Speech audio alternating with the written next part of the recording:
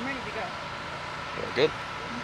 So when you were looking um, in the transfer portal last year, like why, um, or what about Oregon State made this the right choice for you? Um, so going back to high school, uh, I had had a little bit of a relationship with Coach M. Came to some camps out here, and he recruited me a little bit, and so um, we kind of had already built that relationship. And then when I got into the portal, he hit me up and offered me, and I got to talking with him and just kind of hearing from around. I mean, it seemed like he was the best O line coach out there. He was going to help me develop as much as I could. So I felt like Coach M, and then being a little bit closer to home, that was like another really nice perk too. So just those two things right there made it like really hard to not come in. How, how close did you come to going to Oregon State out of high school? Um, out of high school, it was pretty close. I was just kind of waiting on them to give me an offer.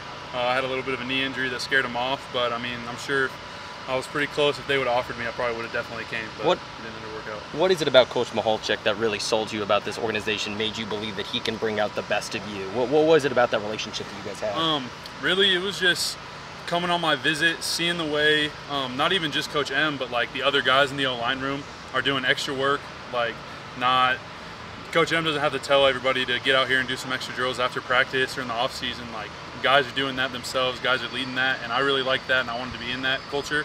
And then, I mean, just looking at the product they put on the field these last couple years and how well they ran the ball, like it was pretty clear that something was going right over here. Is there anyone that's kind of taken you under the wing and that's talked to you, that's kind of helped you get a little bit, you know, closer to the organization, closer to the lineman group, that's really made you feel like you're a part of the family, you're a part of this group? Yeah, I would say, I mean, everybody has been super accepting, making me feel like just family. Um, as far as football helping me out, uh, like Henley Bloomfield, he's been giving me just a lot of advice, a lot of technique tips and stuff, just constantly giving me feedback, which I really appreciate. He's been like a good leader in that sense. But I mean, everybody on the line uh, helps out, so it's been really good. Sorry, man, it's a hot day. Yeah. You, uh, you you play at least four positions. I don't know if you play center or not, but where did that come from? Um, I've just been tackle all my life, but um, I guess just confident that I'd be able to go inside and get it done. I had one start last year at Nevada. I played some guard and it went pretty well. And just, coach asked me to play some guard. I repped it and it felt good. So just, What did you learn playing in Nevada? It was, it was three,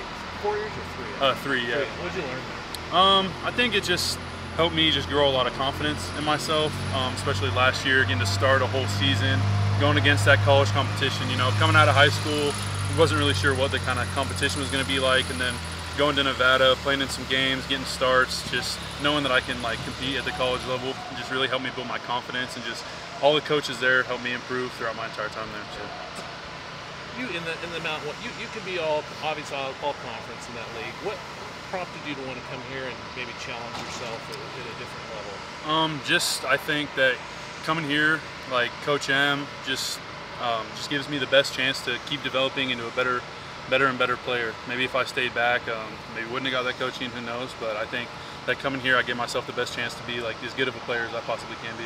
What What is it about his coaching style that really, you know, vibes with you, that you really feels like, again, gets the best out of you? It's something on the field. What does he do? I think just he does a good job of um, relating, like making everything kind of simple to understand, as far as like concept wise, and like the playbook is uh, there's like a process for learning it. It's um, and if you follow that process, it's pretty easy to learn and you can follow it really well. So How was it good job learning that playbook? You know, you coming in uh, from completely new offense it's now. So how was how was that adjustment for you? Uh, it was a little bit of time. Um, Coach Lyles, our GA, he definitely spent some time with me, helped me out a lot, and I mean just everybody else on the team too, um, on the O line, helped me out a ton with it. But it was just just spending time, getting in it, like looking through it, watching cut ups, watching film, and just seeing it over and over again until you got it. So a lot of repetition. Yeah, a lot of repetition. How good do you think this line can be?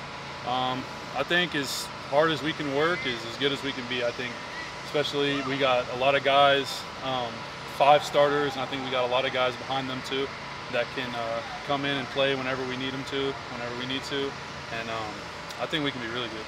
What is it about the offensive line that you enjoy most? Is it when you guys get a big play on passing, when you guys open up a good block for the running backs? What is it that you enjoy most about being? I mean, springing, springing a big long touchdown run and just getting to chase a running back down the field and go celebrate in the end zone. That's as good as it gets. I mean, there's nothing better than that. But I mean, outside of football too, just I think O line's got the best personalities on the teams and they're just the most fun guys to hang out with. So I love getting in the O line room and just in between meetings, in between practice, whatever it is, just hanging out, just making jokes, everything.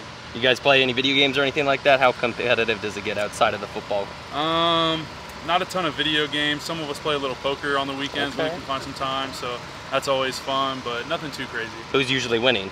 Uh, me and T Volt, Tyler Volton, we we take down the money.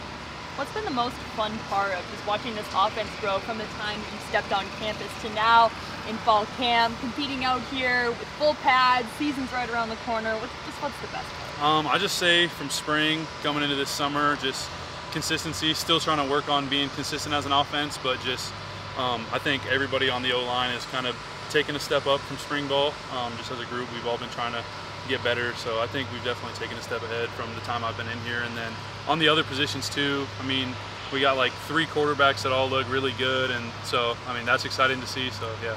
What's it like blocking for a running back like Damien, who just needs to slide into the gap? Yeah, man, it's it's fun because there's a lot of times where, you know, he'll get hit two yards or whatever, but he breaks through tackles, keeps going. I mean, we had it in the scrimmage on Saturday. He had one where maybe should have been down after a few yards and he busted it out for like 20. So he's he's really special. It's really cool to watch him run. All right. Thank you. Thanks, man. Appreciate it. Thanks.